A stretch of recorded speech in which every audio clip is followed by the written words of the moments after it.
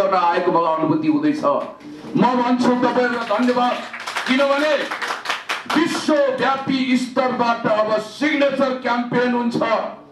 चायवाला मैले कुनै गाली गलजको सक पालेको छैन। चायवाला मोदीजी म तपाईँलाई टुटे फुटेको हिन्दीमा भन्न चाहन्छु। हात मत लम्काइए आँखा मत चमकाइए क्योंकि ये नेपाली शेर जैसा गरजता सम्हालिए मोदीजी अहिले पनि टाइम छ यहाँले आफ्नो त्यो तथाकथित वायत किसिमको नक्सा सच्याउनुहोस् लिपिया धुरा लिपु लेख अनि त्यसपछि कालापानी नेपालको भूभाग हो भन्ने कुराको प्रमाण आज म तपाईँहरू समक्ष राख्दैछु आक्रोशको ज्वालामुखी स्वाभाविक रूपमा दन्किन्छ तपाईँहरूलाई थाहा छ तिन सय चौहत्तर वर्ग किलोमिटर भनेको युरोपको कैयौँ राष्ट्रहरूको एउटा भूगोल बराबरको क्षेत्रफल हो नेपालमा हुन त यहाँ तथ्याङ्क चौन्न हजार रहेछ। लेटेस्ट तथ्याङ्क अपडेट गरी मैले। बहत्तर ठाउँमा पैसठी हजार हेक्टर जमिन मिचिएको छ। चाहन्छु नै कुरा हो। हिजो मात्रै तपाईँहरूले न्युज पढ्नुभयो सुस्ता महेशपुर कालापानी पशुपति नगर लगायत देशका विभिन्न ठाउँहरूमा सयौं जङ्गी पिलरहरू रात रात हराएको छ। यहाँ तलभन्दा माथि उठ्नु पर्यो। म फलाना तिलाना ढिस्काना म गणतन्त्रवादी राजावादी यो वाइयात कुरा छोड्नुहोस् अब धेरै चुरीफुरी गर्नु जरुरी छैन। राष्ट्रियताको पेटेन्ट राइट बोक्नेहरूलाई पनि हामी चुनौती दिन चाहन्छौँ। हामी भन्छौँ हो तत्कालीन राजा महेन्द्रले राष्ट्रियताको सवालमा प्रजातन्त्रलाई अपहरण गर्दा पनि केही काम गर्नुभएको थियो। तर उन्नाइस सय बैसठीको युद्धपछि विक्रम सम्मत दुई हजार बिस सालमा भारतीय सेनाको सारा चेकपोस्ट हटाउँदा काला पानीमा भारतीय सैनिकको बुट र बन्दुक बजाउने मौका किन दिइयो आजसम्म हामीलाई यो घाउ म त भन्छु एउटा फिल्मको गीत छ नयाँ चोट लागेको होइन पुरानै घाउ बल्झिएको यो त्यसकारण यो घाउ अब सराको निम्ति उपचार गर्नुपर्छ त्यसको निम्ति चारवटा मोर्चाबाट लड्नु पर्यो कूटनीतिक प्राविधिक राजनीतिक सामाजिक गाउँ गाउँबाट उठ्नु पर्यो बस्ती बस्तीबाट उठ्नु पर्यो त्यसलाई गराउनु पर्यो अब म केवल दुईटा प्रमाण पेश गर्छु दुई तिनवटा। जसले स्पष्ट हुन्छ काली नदीको किनार। काली नदीको मुहान कहाँ हो? महाकाली सन्धि। के अरे महाकाली नदीलाई कसरी नक्कली बनाएर त्यहाँ प्रस्तुत गरिएको छ काली नदीलाई? र हाम्रो वैदिक परम्परा अनुसार नेपालको अस्तित्व कसरी गौरवान्वित भएको छ भन्ने कुरो म केवल दुई मिनटमा यहाँलाई निवेदन गर्न चाहन्छु। त्यसपछि भेट मार्छु अथर्वेद मानस पुराण हिमवत खण्ड चाणक्य नीतिमा नेपालको नाम उल्लेखित छ। लाखौँ लाख वर्ष पुरानोको सभ्यताको प्रतिनिधित्व गर्ने नेपालको उदय जतिखेर विश्वको नक्सामा भएको थियो त्यतिखेर भारत अलेक्जेन्डर दि ग्रेटको दास भएको थियो मुगल सम्राटको तलवार चाटिरहेको थियो अङ्ग्रेजहरूको दासानु दास हनुमान दास बनेको बेला नेपाल सभ्य भव्य गरिमामय देशको रूपमा उदाइसकेको थियो। अनि मैले यहाँ तपाईँहरूलाई यहाँ एउटा प्रमाण पनि पेश गर्न चाहन्छु।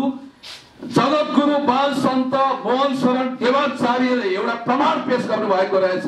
नेपालको कुम्भलाई भारतका सबै अखडा र सन्त समाजले सन्त महन्तले स्वीकार गर्दै नेपालको सिमाना नेपालको लिपुले नेपालकै अविभाज्य हिस्सा हो भन्ने स्वीकार गर्नुभएको रहेछ। र यो मानस खण्ड भन्ने एउटा पौराणिक ग्रन्थमा उल्लेख भए अनुसार लिपुले नेपालको दार्चुला जिल्लामा पर्छ भन्ने कुरा त्यहाँ शास्त्रीय हिसाबले प्रमाणित भएको छ। दार्चुलाको दारुक वनमा लिपुले पर्छ। लिपु पर्वत वेद व्यासको तपस्या थली हो। शङ्करको उत्पत्ति भएको स्थान पनि यही हो। त्यो नेपाल हो भनेर यहाँ स्पष्ट रूपमा उल्लेख गरिएको छ।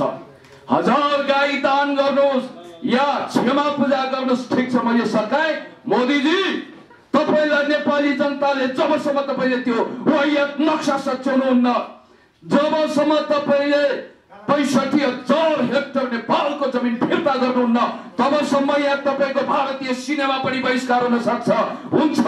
अनि भारतीय च्यानलहरू पनि बहिष्कार हुन्छन्। तपाईँ खुदैलाई पनि हामी बहिष्कार गर्छौँ। हामी हाम्रो देशलाई प्राणभन्दा प्यारो सम्झिन्छौँ। पर्खाल लगाउँछौँ भविष्यमा भिसा पासपोर्ट लागू गर्छौँ। काँडे तार लगाउँछौँ र अन्तिममा एउटा लिपुलेख नेपालकै भएको प्रमाण दिने एउटा दुई हजार अठार सालमा चीन नेपाल बीच भएको बोर्डर प्रोटोकलमा लिपुलेखलाई महानदी महाकाली नदीको शिर मानिएको थियो। जुन अहिले अतिक्रमण गरेको भूगोलमा पर्छ त्यसको त्यो दुई हजार अठहत्तर सालको सम्झौताको अङ्ग्रेजीमा छ रिटर्न।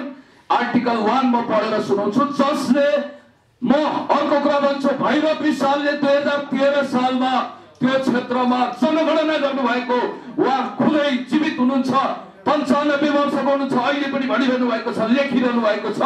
त्यसमा के लेखिएको छ भने the contracting party deciding themselves on the traditional customary boundary line and having jointly conducted necessary on the sport investigation and the survey and made certain adjustment in accordance with the parties on equality, mutual benefit, friendship and mutual accommodation agree on the flying uh, element on the interboundary line from west to east, Nepalese territory being south of the line and Chinese territory north territory.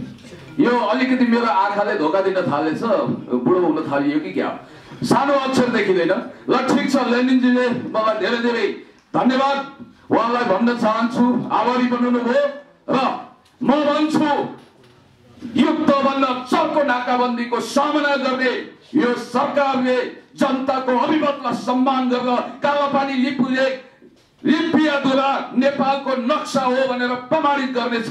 नेपालको लुटिएको जमिनमा हामी शिरमा कफन बाँधेर परिआउँछ भने हामी कालापानी मार्ग पनि गर्छौँ। एक हातमा भोजपुरे खुकुरी लिएर अर्को हातमा नेपालको महान राष्ट्रिय चन्द्र सूर्य अङ्कित झन्डा लिएर हामी आवाजलाई बुलन्द गर्नेछौँ लड्नेछौँ र यो सरकारले देशभक्त कदम चालेर लुटिएको हजारौँ हेक्टर जमिनलाई नेपालभित्र फेरि फर्काउनेछ। म यही आशावादिता व्यक्त गर्न चाहन्छु। त्यसकारण यहाँहरूले सुनिदिनु भयो यो आवाजलाई यहाँहरूले लाखौँ लाख जनताको बिचमा सम्प्रेषण गर्नुहुनेछ। Ya